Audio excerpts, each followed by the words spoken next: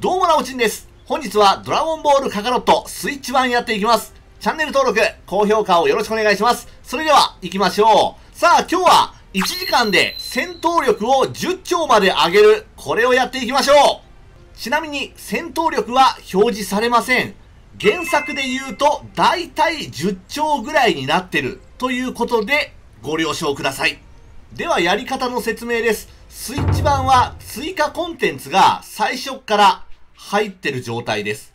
えー、まず、ピッコロを倒すチュートリアルを終わらせた後に追加コンテンツ、そして新たなる覚醒前編、ここに飛びましょう。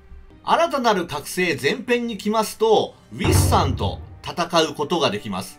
ここで戦ってレベルを上げていくっていうことだね。えー、最初の悟空はレベル2ですけども、えー、推奨レベルが5です。若干強い。若干強いけども、全然戦えると思うので、やっていきましょう。まあまあ、最初はね、結構、苦戦するかもしれないですけども、慣れてくれば、別に、苦戦もせずに、えー、戦って、いけると思います。慣れだもんね、この、ドラゴンボールは。うん。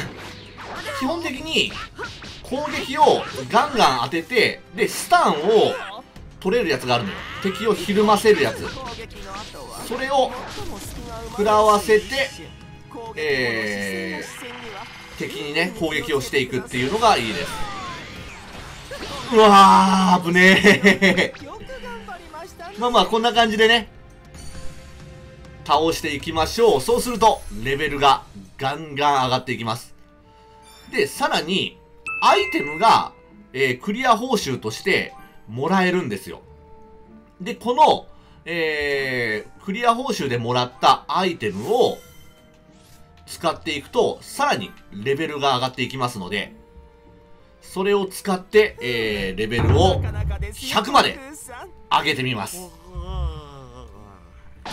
よし。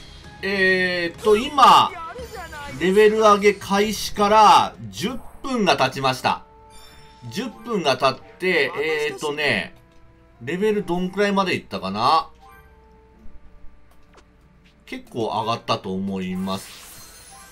もうすでに、レベルが10分で32まで上がってるね。レベル32っていうと、えっ、ー、と、フリーザと戦うちょっと前ぐらい。10分で。それぐらいまで、えー、レベルが上がってます。えー、レベル上げ開始から、だいたい20分が経ちましたね。よし。上級に、えー、入りました。上級はね、さすがに、硬い。むちゃくちゃ硬いね。倒せるか？あ、これでいけるね。上級硬いよ。うん。まあ、推奨レベルが45っていうのがあるんで、ちょっと低かったから、ダメージがあんまり与えれなかったから、と思うんだけどね。はい。で、上級を倒しまして、またアイテムがパワーアップしました。お、どんどん上がるね。えー、レベルアップ、あ、レベル上げ開始から20分で、えー、47まで上がってます。えー、次、今回倒してからレベル100ですね。ようやく100か。えー、だいたい1時間ぐらいで上げることができますね。うん。終わりだはい。で、あれだよ。あのー、レベルは、100が最高ではないです。レベル最高は、300となってます。うん。スイッチも多分300だと思うんだけどね。プレステは、えー、レベル300だったんで、おそらく、スイッチ版もレベル300が上限ではないでしょうか。はい。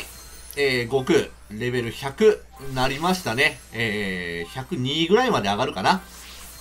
で、ベジータも、えー、43までレベルが上がってます。はい。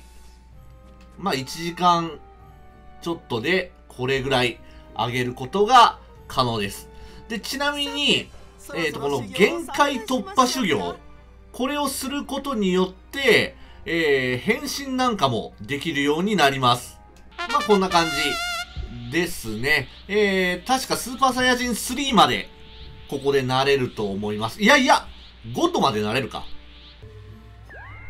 えー、これで、スーパーサイヤ人3、だね。3まではなりました。おビルス様と戦ってゴッドかな？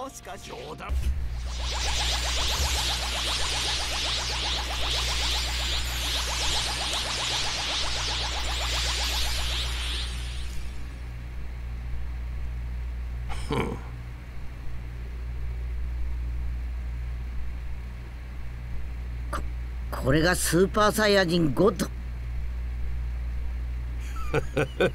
待っていたよこの時をここではゴッドまでしかなれないみたいですね後編でブルーになれるみたいですはい。ということで今日は1時間で戦闘力10兆にするやり方やってみました。ただこれをやってしまうと超ぬるゲーになってしまうのでご注意ください。はい。ということで、またやっていくので、チェックをよろしくお願いします。そして、チャンネル登録と高評価もよろしくお願いします。それではご視聴、ありがとうございました。